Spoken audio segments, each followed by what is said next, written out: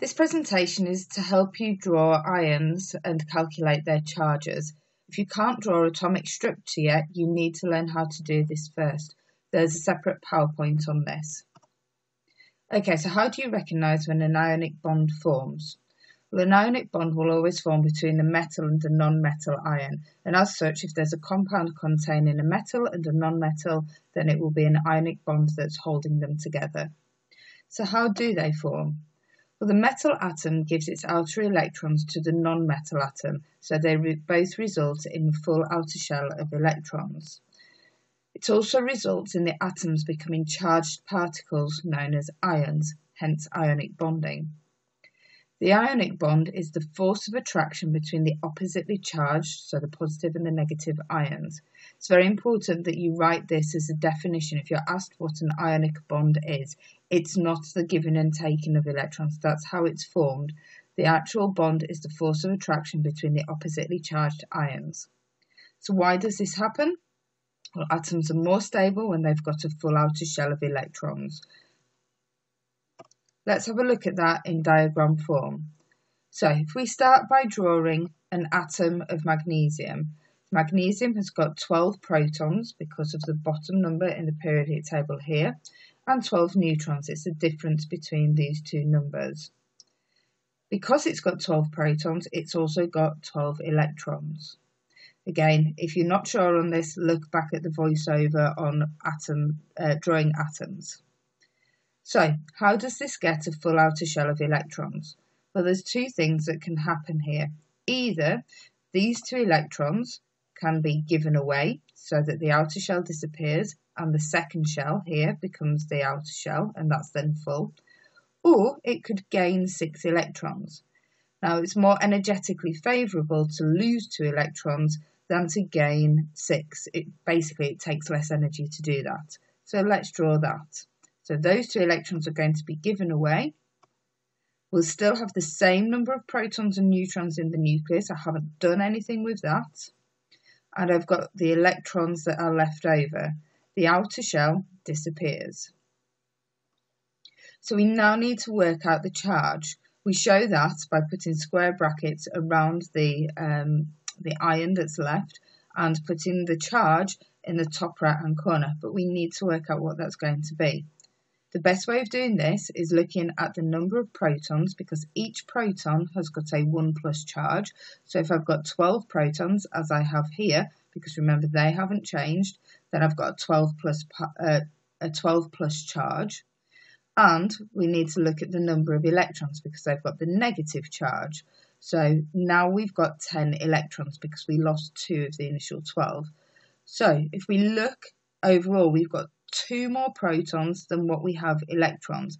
Each positive will cancel out a negative charge. So I'm left with a 2 plus charge overall. Got two more protons than what I have electrons, two more positives than I have negative charges. So that charge goes here. We can show that in a couple of other ways.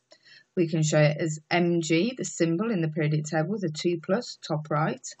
Or we can look at the number of electrons in each shell, so 2 in the first shell, then 8 in the second, overall having a 2 plus charge.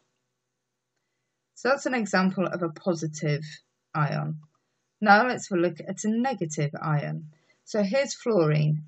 Again, using the information in the periodic table, I can tell that there are 9 protons, that's the number at the bottom of the box, and 10 neutrons, that's the difference between the two numbers.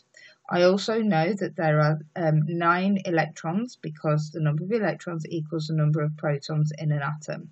So let's draw those in. We can see here that there is a space for an extra electron to fit, and that's what's going to happen to fill the outer shell. So drawn again to the right hand side here, I've got the extra electron in there, that's the red cross, and I've still got the 9 protons, 10 neutrons in the nucleus. That hasn't changed. Okay, so let's work out the charge. Let's do the same as we did last time. We've got 9 protons, which are worth 1 each, so 9 plus charge there. We've got 10 electrons, they're each worth 1 minus charge. And so overall, I've got 1 extra minus than I have positives. So I've got a 1 minus charge. Again, I write that at the top right.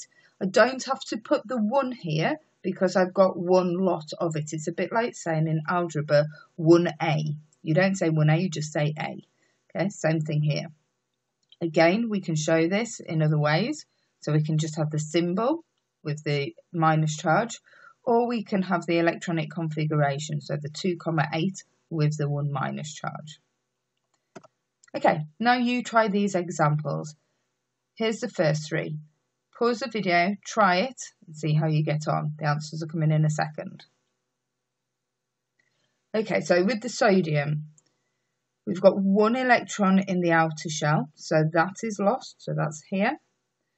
That's lost, and so overall we end up with one more proton than we've got electrons, so we end up with a 1 plus charge. With the calcium, there are two electrons in the outer shell. It's those that are given away, so we end up with two more protons in the nucleus than we have electrons, protons being positive, mean that we have a 2 plus charge here. With the aluminium, the aluminium, I don't like how this is drawn. That electron should be down here, but never mind. It's got three electrons in the outer shell, so it gives those three electrons away to something else that it's reacting with. And we end up with a 3 plus charge because overall it will have three more protons than it has electrons. And a few more here. Once again, pause the video and then see how you get on. Answers coming in a second. So with the oxide, the oxygen has got space for two electrons, one here and one here. So it will gain two electrons to get a full outer shell. So that means it will have two extra negative charges. It's gained two electrons. Each electron has a 1 minus charge. The chloride ion has got space for one electron to go just here. And so when it gains that electron, the electron being a 1 minus charge, the overall ion will have a 1 minus charge on it as well. And the nitride so here I've got space for one, two, three electrons. So it's going to gain three electrons. So if it gains three electrons, it's going to end up with a three minus charge.